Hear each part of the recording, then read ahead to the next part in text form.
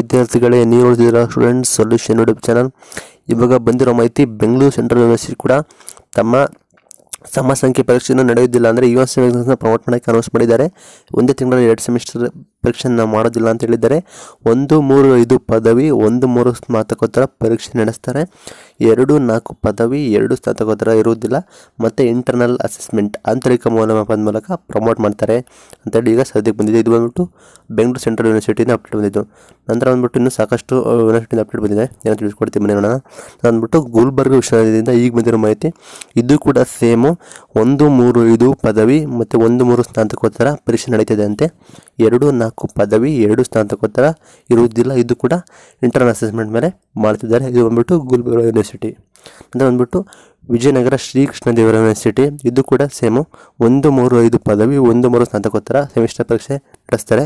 ಎರಡು, ನಾಲ್ಕು ಪದವಿ, ಎರಡು ಸ್ನಾತಕೋತ್ತರ ಸೆಮಿಸ್ಟರ್ ಪರೀಕ್ಷೆ ಇರುವುದಿಲ್ಲ. ಅವತ್ತು ಕೂಡ ಇಂಟರ್ ಅಸೈನ್ಮೆಂಟ್ ಮೇಲೆ ಪ್ರಮೋಟ್ ಮಾಡಲಾಗುವುದು ಅಂತೇಳಿ ಈಗ ಸದ್ಯಕ್ಕೆ ನ್ಯೂಸ್ ಬಂದಿದೆ. ಇದೇ ಥರ ವಿದ್ಯಾರ್ಥಿ ವರ್ಗಕ್ಕೆ ಸ್ಪಂದ ಜಯ ಸಿಕ್ಕಿದೆ. ಥ್ಯಾಂಕ್ ಯು ಫಾರ್ ವಾಚಿಂಗ್ ಇದೇ ಥರ ಹೆಚ್ಚಿನ ಪೀಠ ನಮ್ಮ ಚಾನಲ್ ಬಗ್ಗೆ ಸಪೋರ್ಟ್ ಮಾಡಿ. Thank you for watching